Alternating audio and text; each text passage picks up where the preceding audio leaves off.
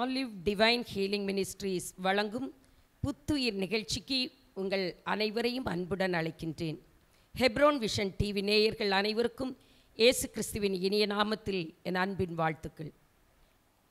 கிறிஸ்துவுக்குள் பிரியமானவர்களே இந்த நேரத்திலும் நாம் தியானிக்கும்படியாக தெரிந்து கொண்டதான வேத பகுதி யோவான் சுவிசேஷம் ஆறாம் அதிகாரம் அதனுடைய இருபத்தி ஏழாம் வசனம்.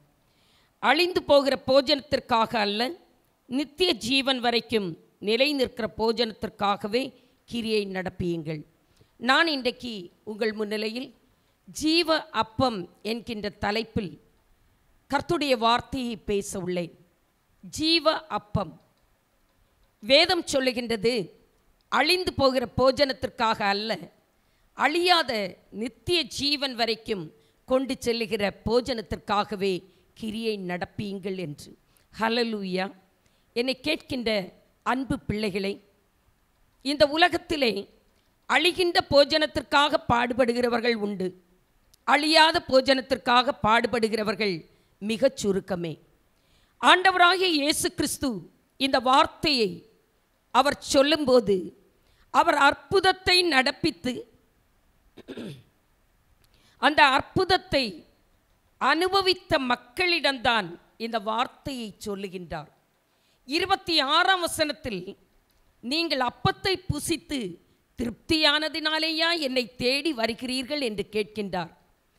கலிலேயா கடற்கரை அருகே பசியோடு இருந்த ஜனங்களுக்கு ஐந்தப்பம் இரண்டு சிறுமீன்களை கொண்டு ஐயாயிரம் புருஷர்களையும் மிகுதியான ஸ்திரீகளையும் பிள்ளைகளையும் போஷிப்பித்த அற்புதத்தை கண்ட மக்கள் இயேசு கிறிஸ்து கப்பர்நகூமுக்கு வந்தார் என்று கண்டபோது இந்த நன்மைகளை தேடி அவரை நாடி வருகிறார்கள். இதை அறிந்த இயேசு கேட்கின்றார் நீங்கள் அப்பத்தை புசித்து திருப்தி அடைந்ததினாலேயா என்னை தேடி வருகிறீர்கள்? என்று. அழிந்து போகிற இந்த போஜனத்திற்காக அல்ல அழியாத நித்திய ஜீவன் வரைக்கும் கொண்டு செல்லுகிற போஜனத்திற்காகவே கிரியை நடப்பீங்கள். என்னை கேட்கின்றதான அன்பு சகோதர சகோதரிகளே இன்றைக்கு ஆண்டவுடைய சமூகத்திலிருந்து அவரை விசுவாசித்து அவருடைய சமூகத்திலே நாம் வருகின்ற போது அநேக உலக ஆசீர்வாதங்கள் நமக்கு கிடைப்பதுண்டு. அந்த ஆசீர்வாதத்திற்காகவே நாம் ஆண்டவரை தேடி வருகின்றோம். அந்த ஆசீர்வாதத்தை ஆண்டவர் நமக்கு கொடுக்கின்றார் உண்மைத்தான் ஆனால் அவருடைய நோக்கமும் திட்டமும் அதுவல்ல. ஜீவ அப்பம் உங்களுக்கு தர வேண்டும் என்பதுதான். எனவே தான் சொல்லுகிறார் இவைகளெல்லாம் அழிந்து போகிற போஜனத்திற்குரியது. அழியாத போஜனத்திற்காக நித்திய ஜீவன் வரைக்கும் கொண்டு செல்லுகிற போஜனத்திற்காக என்னை தேடுங்கள். கிரியை நடப்பியுங்கள்.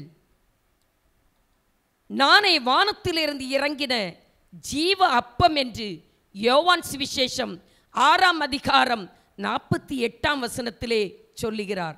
ஜீவ அப்பம் நானே. யோவான் ஆறு முப்பத்தி மூன்று சொல்லுகிறது வானத்திலிருந்து இறங்கி உலகத்துக்கு ஜீவனை கொடுக்கிற அப்பமே தேவன் அருளிய அப்பம் என்றார். வானத்திலிருந்து இறங்கி உலகத்துக்கு ஜீவனை கொடுக்கிற அப்பம் தேவன் அருளிய அப்பம். ஹலலூயா வானத்திலிருந்து இறங்கிய அப்பம். இன்னைக்கு உலகத்திலே நாம் பாடுபடுகின்றோம் பிரயாசப்படுகின்றோம் அழிந்து போகிற போஜனத்திற்காக உலக சரீரத்திற்காக இந்த வயிற்றிற்காக சாப்பாட்டிற்காக பங்களாவிற்காக கார் வாங்குவதற்காக பட்டத்திற்காக பதவிக்காக அந்தஸ்துக்காக அழிந்து போகிற காரியத்திற்காக நாம் அயராது உழைக்கின்றோம் பாடுபடுகின்றோம். ஒருவேளை ஆண்டவரை நீங்கள் தேடி வந்திருந்தால் கத்தர் இவைகள் உங்களுக்கு வேண்டும் என்று தந்திருக்கலாம். அதனால் திருப்திப்பட்டு விட வேண்டாம். இவைகளெல்லாம் அழிந்து போகிறவைகள். என கேட்கின்ற அன்பு ஆத்துமாவே ஆண்டவுடைய ஆசீர்வாதம் என்று சொல்லுவது இதோடு நின்று விடவில்லை. All these are added benefits இவையெல்லாம் காம்ப்ளிமெண்ட் தான். முதலாவது தேவனுடைய ராஜ்யத்தையும் அவருடைய நீதியையும் தேடுங்கள். அதோடு இவைகள் எல்லாம் கூட கொடுக்கப்படும் என்று சொன்னதின் அர்த்தம் என்ன? முதலாவது நீங்கள் தேட வேண்டியது ஜீவ அப்பத்தை தான். அழிந்து போகாத போஜனத்திற்காக நீங்கள் இந்த உலகத்திலே கிரியை நடப்பிக்க வேண்டும். எவ்வளவு பாடு அனுபவிக்கிறோம். ஆனால் நாம் இன்று முதல் நினைக்க வேண்டும் நான் அழிந்து போகிற போஜனத்திற்காக நான் கிரியை நடப்பிக்கிறேனா? அழியாத போஜனத்திற்காக நித்திய வாழ்க்கைக்காக நான் கிரியை நடப்பிக்கிறேனா? இந்த அழியாத போஜனம் என்ன? ஜீவ அப்பந்தான் இயேசு கிறிஸ்து. ஜீவ அப்பம் தேவனுடைய வார்த்தையாயிருக்கிறது. இந்த வார்த்தையை நமக்குள்ளே உட்கொள்ளுகின்ற போது நித்திய ஜீவன் நமக்கு கிடைக்கின்றது. கடைசி நாளில் அவர் நம்மை எழுப்புகின்றவராய் இருக்கின்றார் ஆனால் அழிந்து போகிற போஜனத்திற்காக இந்த உலகத்திலே பாடுபட்டு கொண்டிருந்தால் ஜெபித்து கொண்டிருந்தால் ஆண்டவர் ஆசீர்வாதம் தருவார்தான். அவை இந்த உலகத்தோடு முடிந்து போகும். இதனுடைய இரண்டாவது இரண்டாவது பகுதியை நீங்கள் நன்றாக தியானித்து வாழ்க்கையிலே கடைபிடிக்க வேண்டும். இந்த உலகத்தோடு நம்முடைய வாழ்க்கை முடிந்து போகவில்லை. அழியாத ஒரு ஆத்மா நமக்குள்ளே இருக்கின்றது. இது நித்திய வேதனைக்கு நேராக செல்ல வேண்டுமா? நித்திய ஜீவனுக்கு நேராக தேவனோடு சந்தோஷித்து வாழும் ஒரு பரலோக வாழ்க்கைக்கு நேராக நாம் நடக்க வேண்டுமா? நம்மை நடத்தி செல்லக்கூடியது எது? ஜீவ அப்பந்தான். நித்திய ஜீவன் கொடுப்பது தேவனே தான் அவர் வானத்தில் என்று இயேசுவை எதற்காக இந்த உலகத்தில் அனுப்பினார் என்றால் அவருடைய நோக்கம் நமக்கு பங்களா தருவதற்காக அல்ல. இந்த உலகத்திலே உங்களை ஆசீர்வாதமாய் வைத்திருப்பதற்காக மட்டுமல்ல அவருடைய நோக்கம் நித்திய ஜீவனை உங்களுக்கு தர வேண்டும் என்பது. முதலாம் உயிர்த்தெழுதலுக்கு உங்களை பங்குள்ளவர்களாய் மாற்ற வேண்டும் என்பது. லட்சியத்தை மறந்து போகாமல் நம்முடைய வாழ்க்கையின் பயணத்தை தொடர்ந்து கொள்ள நாம் அறிந்து கொள்ள வேண்டும். இயேசுவில் அன்பு பாராட்டுகிற ஜனமே இன்னைக்கு நாம் பார்க்கின்ற போது கர்த்தர் என்னை ஆசீர்வதித்திருக்கிறார். கர்த்தர் இதை கொடுத்திருக்கிறார் அதை கொடுத்திருக்கிறார் எல்லாம் கொடுத்திருக்கிறார் உண்மைதான். ஆனால் நித்திய ஜீவன் கிடைக்குமா? கடைசி நாளில் தேவனோடு கூட ஆளுகை செய்யும்படியாய் உயிர்த்தெழுதலிலே பங்கு கொள்ளும்படியாய் அவரோடு கூட அவர் நம்மை எழுப்ப முடியுமா என்பதை யோசித்து பாருங்கள். யோவான் சிவிசேஷம் ஆறாம் அதிகாரம் அதனுடைய இருபத்தி ஒன்பதாம் வசனம் சொல்லுகின்றது. இந்த மக்கள் இயேசுவிடம் கேட்கின்றார்கள் இந்த நித்திய ஜீவன் வரைக்கும் கொண்டு செல்லுகின்ற போஜனத்தை பெற்றுக்கொள்ள நாங்கள் என்ன கிரியை நடப்பிக்க வேண்டும்? இந்த ஜீவ அப்பத்தை நாங்கள் பெற்றுக்கொள்ள என்ன செய்ய வேண்டும் ஆண்டவரே என்று கேட்கின்ற போது இயேசு கிறிஸ்து இயேசு கிறிஸ்து கூறிய பதில் என்ன தெரியுமா? அவர் அனுப்பினவரை நீங்கள் விசுவாசித்தால் நீங்கள் அவர் அனுப்பினவரை நீங்கள் விசுவாசிக்க வேண்டும். அவர் அனுப்பினவரை நீங்கள் விசுவாசிப்பதே தேவனுக்கேற்ற கிரியையாய் இருக்கிறது என்கின்றார். ஹலலூயா என கேட்கின்ற அன்பு கர்த்தருடைய பிள்ளைகளை ஆண்டவரை நாம் விசுவாசிக்க வேண்டும். கர்த்தரை நாம் விசுவாசிக்கின்ற போது நாம் தேவனுடைய கிரியையை நடப்பிக்கின்றோம். இந்த கிரியை நாம் செய்கின்ற போது நமக்குள்ளே தங்கி இருப்பது இயேசு கிறிஸ்து. நமக்குள்ளே தங்கி இருப்பது வேத வார்த்தை. நமக்கு ஆண்டவர் கொடுக்கின்ற நம்பிக்கை என்ன தெரியுமா?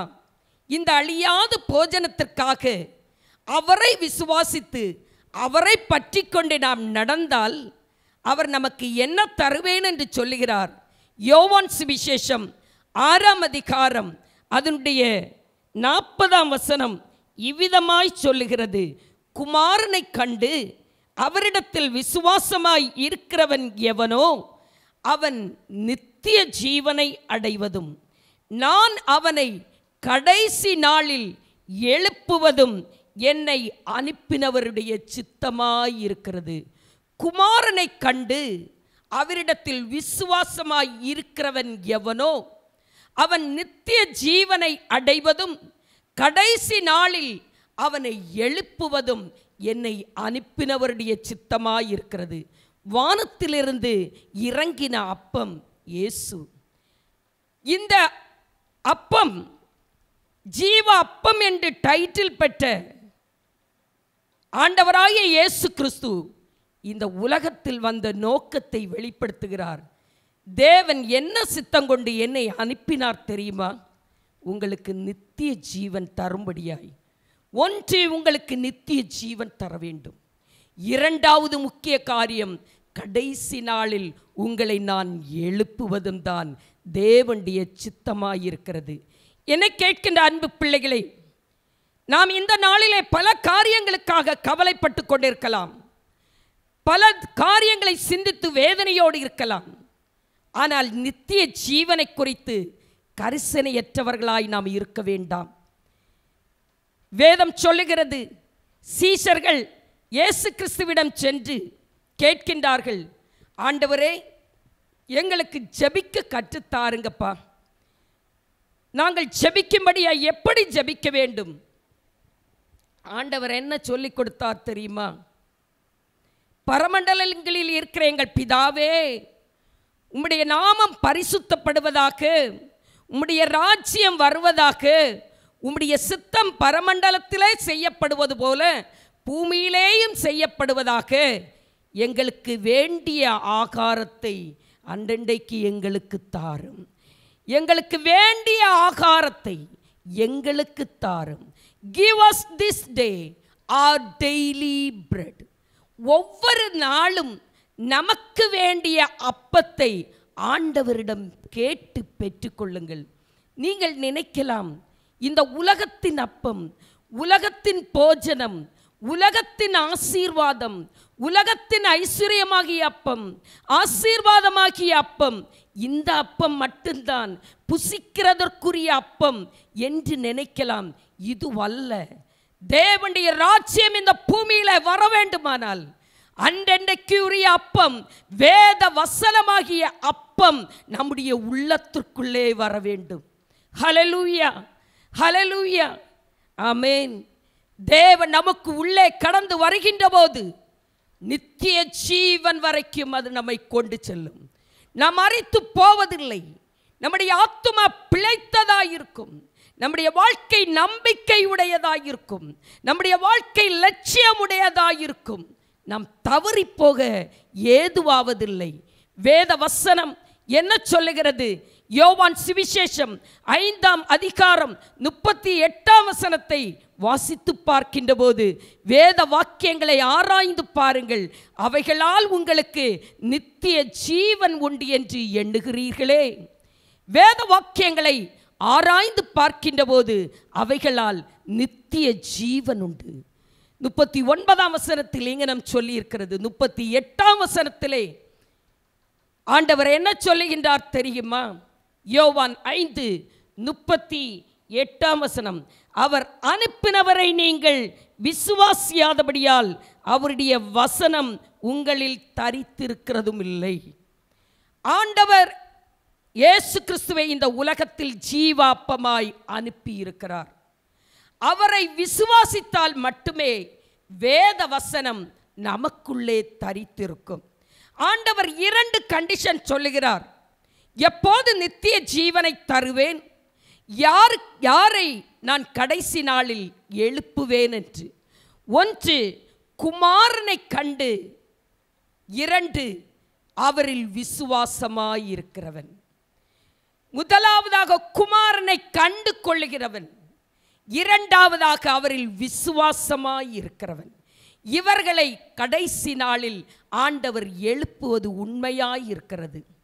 வேதவசனம் அவரை விசுவாசிக்கின்ற போது வேதவசனம் நமக்குள்ளே தரித்திருக்கிறது. எப்படி இந்த வேதவசனம் நமக்குள்ளே தரித்திருக்கும்? யோவான் ஒன்று பதினான்காம் வசனம் சொல்லுகிறது அந்த வார்த்தை மாம்சமாகி கிருபையினாலும் சத்தியத்தினாலும் நிறைந்தவராய் நமக்குள்ளே வாசம் பண்ணினார். வார்த்தை மாம்சமாகிறது. ஆதியிலே வார்த்தை இருந்தது. அந்த வார்த்தை தேவனாய் இருந்தது. அந்த வார்த்தை தேவண்டத்தில் இருந்தது என்று சொல்லப்பட்டிருக்கிறது. இன்றைக்கு வேத வார்த்தைகளை ஜீவ அப்பமாய் ஆண்டவர் நமக்கு கொடுத்திருக்கிறார். நாம் செய்ய வேண்டியது என்ன? உலகத்தின் காரியங்களை பின்னானவைகளை மறந்து அழிந்து போகிற போஜனத்திற்காக பாடுபடுகின்ற சிந்தைகளை மறந்து அவைகளெல்லாம் கர்த்தர் தருவார் என்கின்ற நம்பிக்கையோடு கூட நமக்கு முன்னே வைக்க வேண்டிய லட்சியம் ஆண்டவரே நித்திய ஜீவன் எனக்கு வேண்டும். கடைசி நாளில் நீர் என்னை எழுப்ப வேண்டும். அதற்காக நான் கிரியை நடப்பிக்க வேண்டும். இதற்காக நான் என்ன செய்ய வேண்டும் அப்பா? ஒவ்வொரு நாளும் நான் உம்மை காண வேண்டும். அதிகாலையில் என்னை தேடுகிறவன் கண்டடைவான் என்று வேதம் சொல்லுகிறது. அதிகாலையிலே நாம் ஆண்டவரை தேடினால் அவரை கண்டடைவோம். அவருடைய வார்த்தைகளை நாம் பெற்றுக்கொள்வோம். கர்த்துடைய வார்த்தையை பெற்றுக்கொள்கின்ற போது அந்த நாளுக்குரிய மன்னா உங்களுக்கு கிடைத்தது என்று விசுவாசியுங்கள். தேவனால் கொடு அருளப்படுகிற மன்னாவை பெற்றுக்கொள்ளாமல் ஒரு நாளும் நீங்கள் நீங்கள் ஆயத்தமாய் அந்த நாளை சந்தோஷமாய் கழிக்க முடியாது.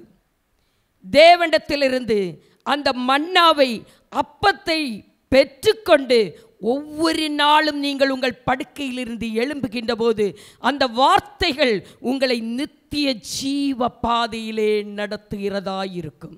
ஹலலூயா இன்னைக்கு உங்கள் வாழ்க்கையிலே ஜீவ அப்பமாகிய மன்னாவை ஜீவ அப்பமாகிய வேத வார்த்தையை பெற்றுக்கொண்டீர்களா? இந்த நாளின் அதிகாலையிலே இயேசுவோடு சம்பாஷித்து இயேசுவோடு பேசி ஆண்டவரே இன்றைக்கு நீர் எனக்கு தரும் அப்பம் என்ன? ஏசாயா முப்பத்தி மூன்று பதினாறு அதைத்தான் சொல்லுகிறது. அவன் அப்பம் அவனுக்கு கொடுக்கப்படும். என்ன? சுகமாகிய அப்பம் மட்டுமல்ல. ஆசீர்வாதமாகிய அப்பம் மட்டுமல்ல.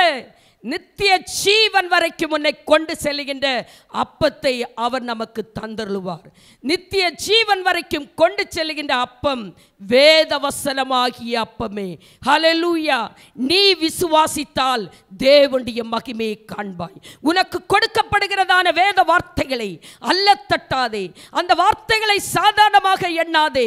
அவைகளுக்குள் ஜீவன் இருக்கிறது என்பதை நீ அறிந்து கொண்டால் ஒவ்வொரு நாளும் உனக்கு வேண்டிய மன்னா உனக்கு அருளி செய்யப்படும். அந்த வார்த்தை உனக்கு வழிகாட்டும். அந்த வார்த்தை உன்னை நடத்தும். அந்த வார்த்தை உன்னை ஜீவனுக்கு நேராய் கொண்டு செல்லும். எப்படி ஆண்டவரே இந்த உலகத்திலே நான் வாழ்வேன்? எப்படி இந்த சோதனைகளை கடந்து நான் வாழுவேன்? இந்த சோதனைகளை நான் எப்படி மேற்கொள்ளுவேன் ஆண்டவர் உங்களுக்கு வாக்குத்தத்தம் கொடுக்க மாட்டாரா? அவருடைய வார்த்தைகள் உங்களுக்கு கிடைக்காதா? அவர் உங்களோடு பேசுகிறார். சங்கீதம் நூற்றி பதினெட்டு அவனுடைய பதினாறு சொல்லுகிறது கர்த்தரின் வலதுகரம் பராக்கிரமம் செய்யும். ஹலலூயா கர்த்தரின் வலதுகரம் பராக்கிரமம் செய்யும். ஏன் நம்பிக்கையற்று போகிறீர்கள்? இதுதான் ஜீவாப்பம். இதுதான் ஜீவ மன்னா ஆண்டவர் உங்களுக்கு அருளி செய்கிறது. இந்த வனாந்திரமான பாதையிலே இந்த உலகத்திலே நீங்கள் நடந்து செல்ல வேண்டுமானால் இந்த மன்னா இல்லாமல் நடந்து செல்ல முடியாது. இதற்கு ஆதாரமாகவே வேத புஸ்தகத்தில் நம்முடைய முன்னோர்கள் எப்படி வனாந்திரத்தில் நடந்து சென்றார்கள் என்பதை எடுத்து காட்டுகின்றது. ஆறு லட்சம் ஜனங்களை மோசை வழிநடத்தி செல்கின்றான் எத்தனை வருடங்கள்? நடந்து செல்லு செல்லுகின்றார்கள். நாற்பது வருடங்கள். எப்படி இந்த வனாந்திரத்தில் நடந்து செல்வது? ஆண்டவரிடத்தில் கேட்கின்ற போது சிறுமைப்பட்டிருக்கிறார்கள். பசியினால் வருத்தப்படுகிற நேரங்கள்.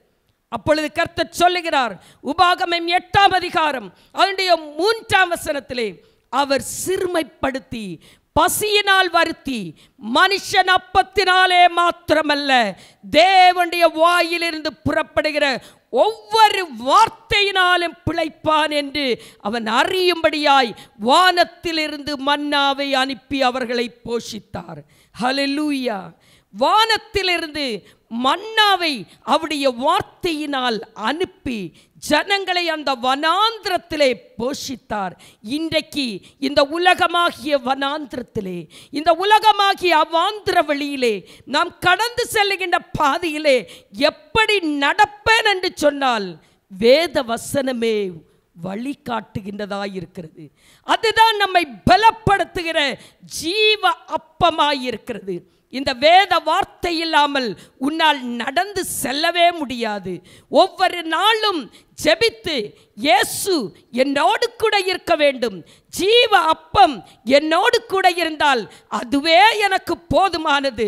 உலகத்தின் மேல் கண்கள் வைத்து உலகத்தின் மேல் ஆசை வைத்து உலகத்தின் காரியங்களை எண்ணி கவலைப்பட்டு கொண்டிருக்கிற அன்பு ஆத்துமாவே தேவ வார்த்தைக்காக காத்திரு. எல்லாம் உனக்கு கூட கொடுக்கப்படும். நித்திய ஜீவன் வரைக்கும் அவை அழைத்து செல்லும் என்றால் இந்த உலகத்தின் தேவைகளை சந்திக்கிறதற்கு அவர் போதுமானவராயிருக்கிறார். ஒன்று மாத்திரமே நீ இந்த உலகத்தின் காரியத்திற்காக அழிந்து போகிற போஜனத்திற்கு முக்கியத்துவம் அல்ல. அழியாத போஜனமாக்கிய நித்திய ஜீவனுக்கு நீ முக்கியத்துவம் கொடுக்கின்ற போது அன்னுதின வேத வசனமாக்கிய மன்னாவை உன் வாழ்க்கையில புசிக்கின்ற போது வேத வார்த்தைகளை உன் வாழ்க்கையில் உட்கொண்டு ஒவ்வொரு நாளும் நீ நடக்கின்ற போது அந்த வார்த்தை ஜீவனுள்ளதாய். அந்த வார்த்தை மாம்சமாக்கி அது கிருபையினால் நம் உள்ளத்தை நிறைக்கிறது.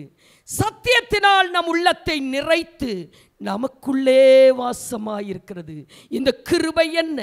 The steadfast love unfailing love அவருடைய மாறாத அன்பு அவருடைய நித்தியமான அன்பினால் இந்த வார்த்தை நம்முடைய உள்ளத்தை நிறைக்கின்ற போது இந்த உலகத்தில் உங்களுக்கு இதை தவிர வேறு என்ன வேண்டும்?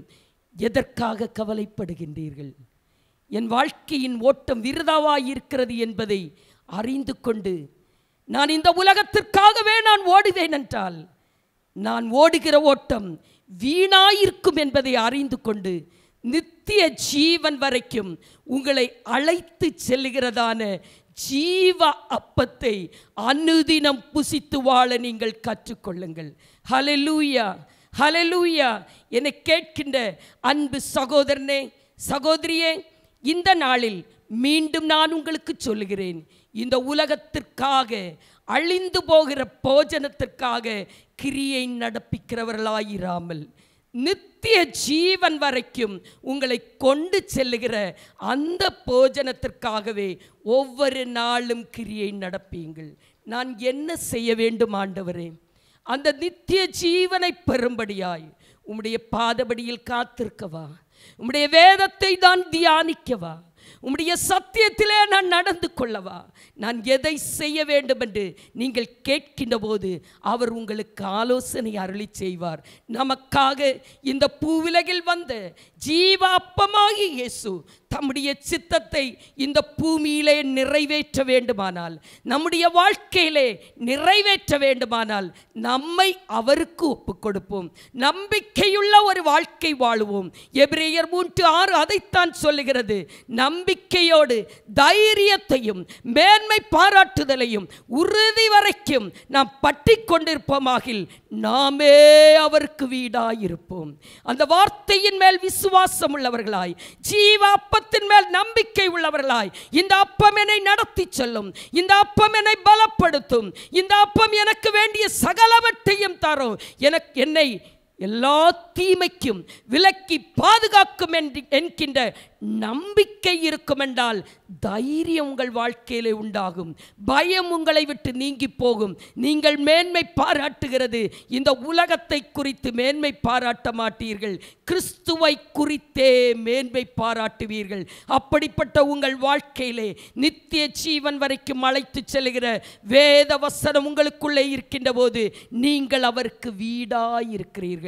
ஹலலூயா ஹலலூயா என்னை கேட்கிற அன்பு பிள்ளைகளே உங்கள் வாழ்க்கையில் என்ன நிலைமையில் இந்த நாளிலே நீங்கள் இருந்து கொண்டிருந்தாலும் ஒன்றை நான் உங்களுக்கு சொல்லி முடிக்க விரும்புகின்றேன். ஆண்டவரே நித்திய ஜீவன் வரைக்கும் நீரனை நடத்துங்கப்பா. அதற்கு அப்பமாகிய ஜீவ அப்பத்தை எனக்கு தர வேண்டும். என்னை பலப்படுத்துகிறது நீர்தான். ஜீவ அப்பந்தான். இயேசுவே நீர்தான் என்னை பலப்படுத்த முடியும். இந்த உலகத்தில் வேறு யாரும் என்னை பலப்படுத்த முடியாது. என்னை பலப்படுத்துகிற கிறிஸ்துவினாலே எல்லாவற்றையும் செய்ய எனக்கு பலன் உண்டு என்று பவுல் சொல்லுகிறதைப் போல இந்த உலகத்தை பின்னிட்டு பாராதபடி முன்னேறி செல்ல வேண்டுமானால் இந்த அழியாத போஜனமாகிய இயேசுவை நோக்கி பாருங்கள்.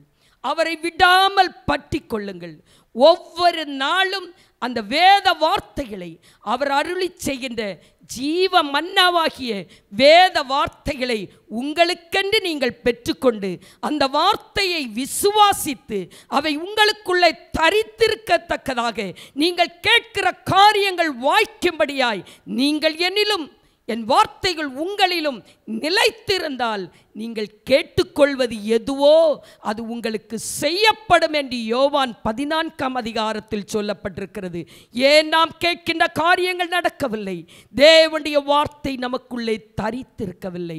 தேவன் நமக்குள்ளே நிலை நிற்கவில்லை. அவருடைய வார்த்தைகள் நமக்குள்ளே நிலை நிற்கின்ற போது அவர் அனுப்பினவரை நாம் முழுமையாக விசுவாசிக்கின்ற போது அவருடைய பரிபூரணத்தினால் நாம் கிருபையின் மேல் கிருபை பெற்றவர்களாய் இந்த உலகத்திலே நாம் வாழ்ந்து தேவனுடைய மகிமையை கண்டு கொள்ள முடியும். உலகத்தின் ஆசீர்வாதங்களுக்கு முதலிடம் அல்ல. தேவனுடைய ஆசீர்வாதங்களுக்கு உன்னத ஆசீர்வாதங்களுக்கு நாம் முதலிடம் கொடுத்து வாழுகின்ற போது இந்த உலகத்தின் ஆசீர்வாதங்கள் நம்மை அறியாமல் நமக்கு பின்னாக வரும். ஹலலூயா ஹலலூயா ஹலலூயா உனக்கு விரோதமாய் எழும்பும். எந்த ஆயுதமும் வாய்க்காதே போகும் என்றால் எந்த ஆயுதமும் வாய்ப்பதில்லை. எதற்கு நீ கவலைப்படுகிறாய்? வேதவசனமாகிய மன்னாவை நீ புசிக்கின்ற போது அது உன்னை நடத்தி செல்கின்றதாயிருக்கிறது சத்ருக்கு எதிரே அரணான கண்மலையாய் நின்று நித்திய ஜீவன் வரைக்கும் உன்னை அழைத்து செல்லும். எந்த காரியத்தில் தவித்து நிற்கின்றாய் எந்த காரியத்தில் திகைத்து நிற்கின்றாய் வேதவசனத்தை தியானித்து பார். அதுதான் உனக்கு பலன் கொடுக்கும். அதுதான் உனக்கு ஆலோசனை சொல்லும். அதுதான் உன்னை வழி நடத்தும் அதுதான் உனக்கு ஜீவனை கொடுக்கும். அதுதான் உன்னை தப்புவிக்கும்.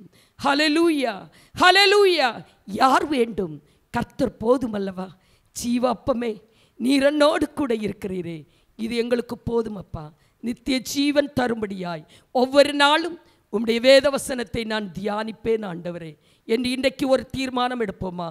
ஆண்டவுடைய சித்தம் நிறைவேறும்படியாய். நிச்சயமாய் அதிகாலையில் அவரை தேடினால் ஒவ்வொரு நாளும் அவருடைய மன்னாவை நாம் பெற்றுக்கொள்ள முடியும். வேதவசனமாகிய மன்னாவை பெற்றுக்கொள்ள முடியும். அத்தோடு அவரை விசுவாசிக்கின்ற போது நமக்கென்று உறுதியளிக்கப்படுகிறது நித்திய ஜீவன். நாம் தளர்ந்து போக வேண்டாம். எப்படியோ என் மரணத்திற்கு பின் நித்திய ஜீவன் எனக்கு கிடைக்குமோ? சந்தேகிக்க வேண்டாம். உங்களுக்கு கிடைக்கும். உங்கள் பிள்ளைகளுக்கு கிடைக்கும். உங்கள் குடும்பத்திற்கு கிடைக்கும். உங்கள் தேசத்திற்கு கிடைக்கும். நீங்கள் நம்பிக்கையோடு சென்றால் நிச்சயமாய் இந்த வேதவசனம் உங்களை பலப்படுத்தி நித்திய ஜீவன் வரைக்கும் உங்களை கொண்டு செல்லும். கடைசி நாளில் உங்களை எழுப்புவார். இரண்டாவது ஆசீர்வாதம் கடைசி நாளில் உங்களை எழுப்புவார். ஏனெனில் ஒன்று தெசனோலிக்கர் நான்காம் அதிகாரம் அதனுடைய பதினான்கு பதினைந்து பதினாறு பதினேழு வசனங்கள் சொல்லுகிறது. ஏனெனில் கர்த்ததாமே ஆரவாரத்தோடும் பிரதான தூதண்டிய சத்தத்தோடும் தேவ எக்காலத்தோடும் வானத்திலிருந்து இறங்கி வருவார். அப்பொழுது கிறிஸ்துவுக்குள் மறித்தவர்கள் முதலாவது எழுந்திருப்பார்கள். பின்பு உயிரோடு நாமும் அவருக்கு எதிர்கொண்டு போக மேகங்கள் மேல் அவர்களோடு கூட எடுத்துக்கொள்ளப்பட்டு இவ்விதமாய் என்று டேக்கும் கர்த்தரோடு கூட இருப்போம். ஹலலூயா எத்தனை நம்பிக்கையான வார்த்தை.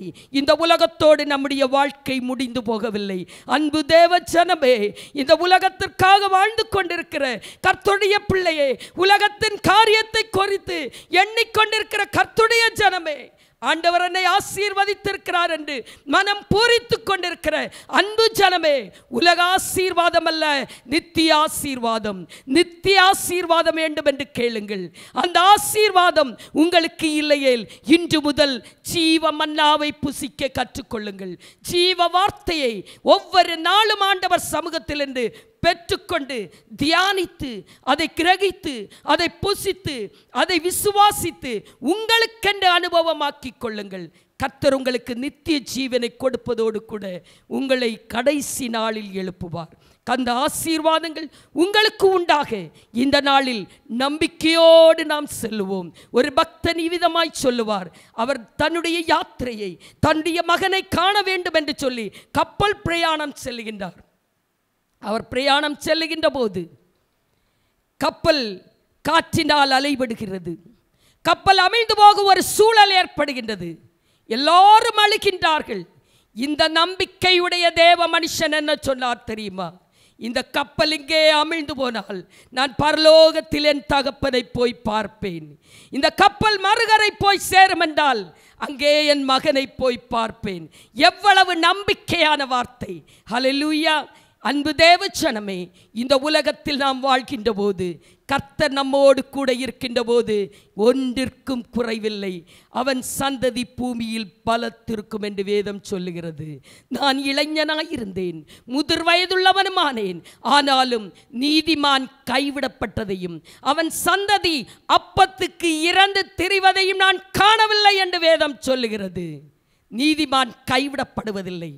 இந்த ஜீவ அப்பத்தை அனுதினம் நாம் புசிக்கின்ற போது இந்த வேத வார்த்தையின்படி நாம் நடக்கின்ற போது நாம் மட்டுமல்ல நம்முடைய சந்ததிக்கும் அப்பத்துக்கு குறை உண்டாவதில்லை. நம்பிக்கையுடைய வாழ்க்கையோடு மறுகரை நாம் போய் சேர முடியும். நம்முடைய பரம தகப்பனை நாம் காண முடியும்.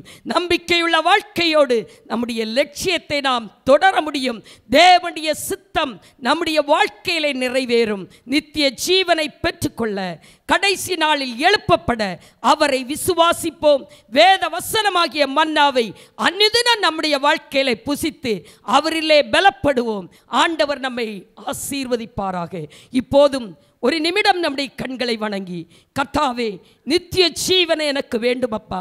இந்த உலகம் எனக்கு வேண்டாம் ஆண்டவரே.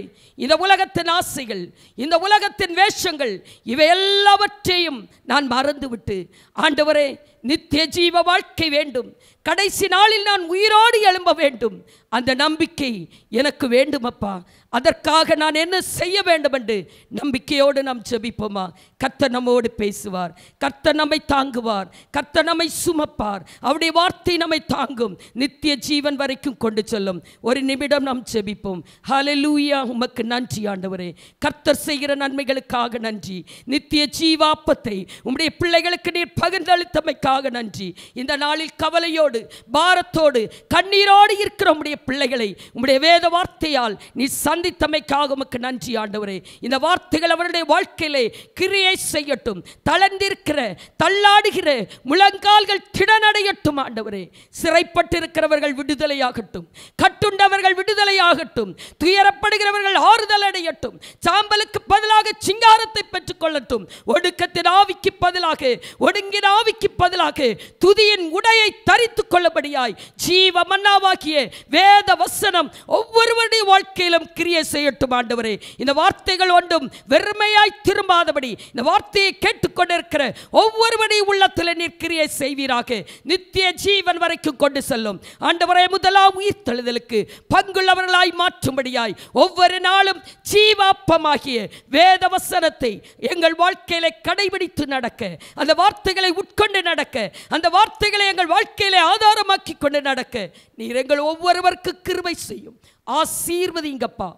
உம்முடைய கிருபையின் செட்டைகளின் நிழலிலே மூடி மறைத்துக் கொள்ளும். உம்முடைய நித்திய கிருபை எங்களோடு இருக்கட்டும். மீட்பர் இயேசுவின் நாமத்தில் ஜெபம் கேளும் எங்கள் நல்ல ஜீவனுள்ள பிதாவே. ஆமேன் ஆமேன்.